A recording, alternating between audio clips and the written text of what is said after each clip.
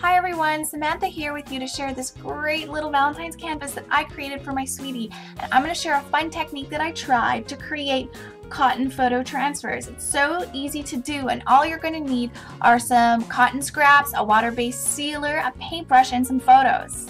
You're honestly not going to believe how easy this technique is to do. What you're going to do with a water-based sealer is you're going to cover both your fabric and your photo and saturate them with the sealer. Now I'm using a photo that's been printed on a laser printer. If you use a photo that's been printed on an inkjet printer, my fear is that the ink will run and you won't get the results that we're looking for here.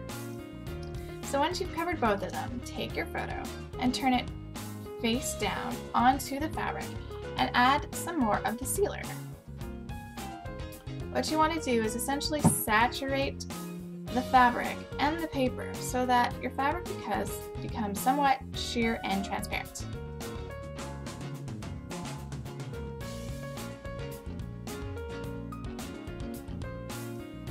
Once you've saturated it, you're going to hang it somewhere to dry because both sides now are probably sticky and taggy. When it's dry, what you're left with is a very interesting shadow of your picture that's behind. Now through trial and error, I realized that this technique definitely works better with darker photos. But I invite you to experiment and please share your results of what you come up with.